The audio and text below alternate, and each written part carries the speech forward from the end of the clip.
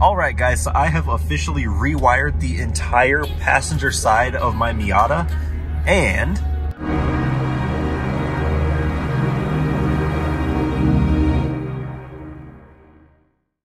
What's going on, guys? Aaron here, and we are working on putting a new double deck radio in. Well, not new, it's from my STI, but a double deck radio in my Miata. It's got a single deck, uh, a single din deck Alpine in it, and we're going to be putting a double deck touchscreen Pioneer. Um, I was going to pull the door panel off to fix the wiring because none of the wires in that door work, or I'm sorry, none of the speakers in that door work. So I was going to, you know, pull that off and make sure everything was connected, but now that I opened this up, I've got a whole bunch of wires that were just taped off and not connected. And you gotta at least connect the wires that uh, are part of the original harness. I mean, this is probably my issue. All right, and this is what we're left with. So anything that had a color cable coming from the car, I connected to the deck harness. So this is the harness that goes into the back of the radio. This is the one that goes inside the car right there. Now that I've got everything connected, I'm gonna figure out how to get the rest of this little assembly out. I think I just have a pin to push down right here and then this all should come out. Okay guys, got a real quick update for you. The double din radio that I put in did not work. I don't know if either it didn't have enough power, the harness isn't quite right, or three, and I think this is the option that uh, we're looking at here, uh, the double din radio actually doesn't work anymore. And so unfortunately, I think it's toast. So I went ahead and I went ahead and connected the rest of the wires that were in there. This is a little over a week ago now already, but uh, I went ahead and finished connecting out the rest of the wires that were behind the radio and I plugged everything in. That I thought was gonna fix the speakers on the passenger side not working. But unfortunately that didn't fix it. And so now we're in the process. I completely dug up the door here and let's pop a squat here on my bucket. Uh, went ahead and pulled the entire door open and I checked the amp where the power goes to the amp and then is split to the two speakers, the big door speaker and the tweeter, and the amp isn't receiving power. So I went online and I double checked that the wires going into the amp are the correct color code for uh, the speaker power, and they are. So the only other real thing to do to narrow this down is either A, there's no power coming out of the back of the radio, so that's the first place I gotta check. Um, so I gotta pull the deck out, check the two color-coded wires that are in the back of that, and see if they're getting power. If they are, then that means that those wires got cut or shorted out somewhere between the radio and the store. Um, apparently inside of the hinge is a trouble area, so they might have just over time from opening and closing the door, gotten pinched off or cut or, or whatever, right? And so are no longer making contact. So we're gonna check that real quick. I'm gonna pull out the radio again after I got it even mounted more sturdy than it was before. Like I got it fully mounted inside the dash because it used to rattle and shake and now it's sturdy and it's mint. And of course now I gotta take it back out to check. So kind of a pain, but we're gonna do that real quick. I'm gonna slide everything out, check to see if behind the unit is getting power, is sending power to the door. If it's not, then I'm gonna have to get a new head unit. So I'm hoping, just because it's a lot cheaper to run new wire, that the wires are just cut somewhere and that all I gotta do is run them from the unit through the door and we'll be good. So fingers crossed that it is not the head unit because I really I don't want to shell out a couple hundred bucks for music when it was only 12 bucks for two wire spools. So hopefully, hopefully it's just wire. So let's find out.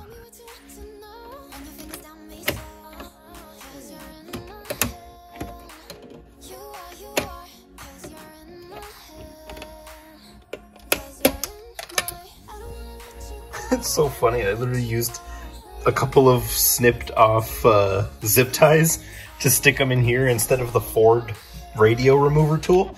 I just stuffed them in there until I felt the little pins release and it's and actually it's actually enough to slide the radio out. That's so freaking funny. Okay guys, so my search has gotten weird. So when you look back here, let me let me pull it out. When you look back here, there is this set of aftermarket wires back here that it looks like it runs from left side, the driver's side, connects to like they use butt clamps. I think that's what those are called. And then goes to the right to the passenger side. So I was like, oh, okay. Let me follow this because everything is color matched except for these, which don't have anywhere to go to. I was like, okay, let me just trace this and see where this goes. I opened the glove box and right back there, the two wires, the green and the green yellow, the ones that coincidentally right here are not getting power are cut and replaced with these aftermarket wires. Something needs to be powering these aftermarket cables because they go into this harness and then from there go into the door. So something needs to be powering those aftermarket cables. So I was like, okay, let me let me trace those. They come under the glove box. I pulled out all my carpet. That way we could see. Um, they come under the glove box and they run along the floor. In addition to those subwoofer cables, a ground cable, and the left cable, the one that goes to the driver's side, and this right cable, the one that's right there, all run along the floor. And this is where it gets funny. So they run all the way along the floor. Subwoofer cables, left, right, and ground, all run along the floor to back here where there is an amp. And I didn't know that I had an amp because it was stuffed all the way up in here on top of a web root case. So this was right here. And then this amp was sitting on top of it behind all of this under the subwoofer. I didn't know those were in there. Just gonna. Yeah, I didn't know this was in here. And this is probably the source of all of my freaking clunking every time I hit a bump is this, you know, two or three pound metal amp just bouncing around inside of my trunk because it's sitting on top of this instead of bolted to anything like it's supposed to be. So we found out where the cables go, right? So I'm not an electrician. I don't do car audio. So this is confusing for sure. Um, we've got our subwoofer power cable, which runs into this freaking mess and then to here. Assuming, right? Because the sub works. I can confirm that the sub works. The left and right sides are the ones that I am concerned with. Because this is a really shoddy job. Um, like, you don't even screw the amp into something. You just let it fly around in the trunk. I mean, the subwoofer's not mounted in anything, and I knew that, but at least it's heavy enough to stay put. The amp? That just slides around. And that's all of the electrical. If that comes loose, your whole system stops working. And so maybe that's what went wrong. I don't know. But now I'm left here trying to figure out what the hell happened. And it's a lot harder to track down all of these bullshit wires because they didn't zip tie anything correctly. They didn't like label anything left, right, nothing. So, and all the wires are the same color. So now I have three sets of the same exact wire. this is weird. So yeah, um, every wire inside the car is pulled out.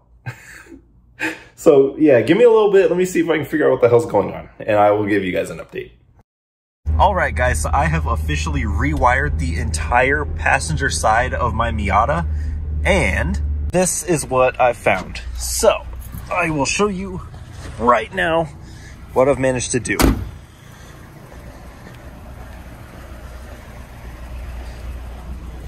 You guys remember how we started out this project because the speakers didn't work and we pulled out the radio and we were originally going to add a new radio ended up finding out that a whole bunch of wires behind the radio weren't connected at all. Open up the trunk here.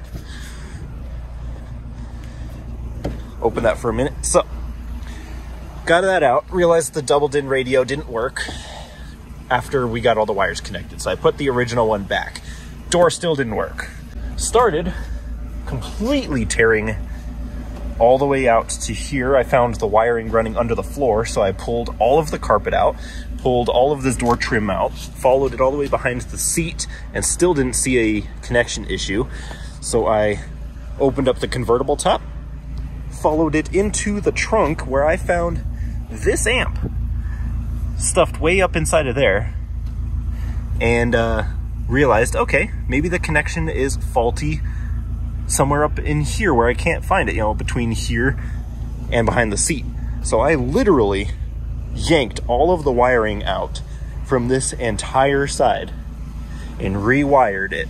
Everything except for the actual speaker wires. So the ones that go from here, the RCAs, to here. And I knew that those were good because if I crossed the connection, I could hear the speakers on that side buzzing. Bzz, bzz.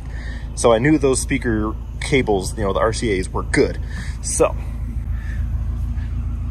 these are the RCAs.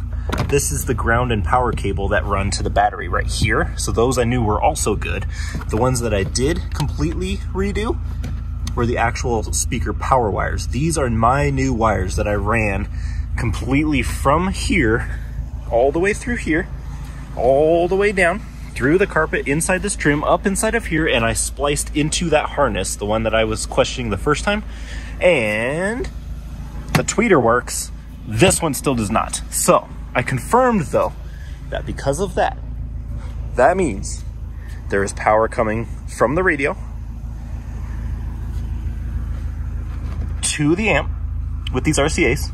And then there is now a signal confirmed being sent from the amp back to the door.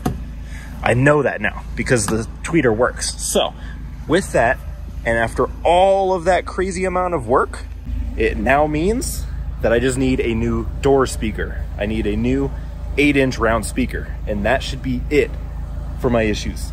That should be it. So that was a lot of work. It wasn't in vain though. I definitely figured out quite a bit. Um, confirms that my radio is okay, confirmed that my amp is okay, confirmed that I don't need a tweeter.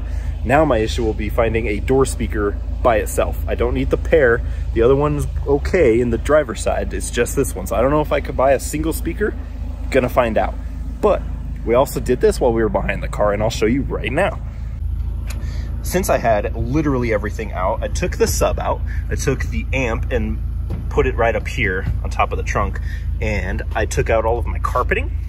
These two sheets of cardboard are from a range, an electric range um, appliance box. And so the cardboard is quarter inch thick and really dense stuff. So I took half of a box, I chopped it up. I put, you know, I put the original carpet on top and I uh, hot glued it to one of the cardboard panels and I traced it out and I put both layers in here, which now gives me something solid for the subwoofer to sit on. And it's been sitting like this for days and it hasn't moved even an inch.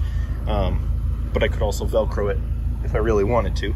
But it also gave me, I ran screws through the inside. They're not thick enough to run a nut over, but because of how heavy the amp is, and now that it has two mounting points through both layers of cardboard, it doesn't move around at all. And then I officially ran the cords through the carpeting the way that they're supposed to be, up through a hole, and got all the excess zip tied. So now I don't have any more really messy looking cables. The battery is completely covered, so I don't risk anything being shorted out because it's touching it. Got a really nice and lightweight trunk set up now. Um, The cardboard literally weighs like less than a pound, I think, for both layers. So super lightweight, but dense enough uh, that it holds everything in place. No more subwoofer sitting on top of a spare tire and hoping that it just doesn't flop around. So that has been the experience with changing out, well, I guess with figuring out what's wrong with my electrical, was literally rewiring the car. Kind of sucked, but with all that work, it kind of was a bummer, but I ended up saving myself a lot of money with not having to buy stuff and hope it worked. We ended up getting it right, and now I know I only need one door speaker. While I was in there, I fixed the handle here. This handle didn't activate the door latch. So now you can open the door from the inside and not just the outside. I also reconnected the mirror because that was unplugged. Um, and I got the door card completely secure because all of these clips were broken. So I ended up replacing all of the clips and pins and whatnot. So now the door doesn't flop around. It actually works for the passenger and it sounds way better even just with a tweeter working because now the sound is even, right? But gotta get one round speaker and then we'll be totally set. So this has been my adventure. I hate electrical, but I also hate paying other people to do stuff that I know I can do myself with enough time and some, you know, some real energy dedicated to it. So with that, guys, we figured it out and that is that. So I appreciate all of the views, you guys. I really, really do. Drop a like, drop a comment. Let me know what you thought of this video. Hopefully it'll help you on your car and I will see you in the next video. Drink water and be safe.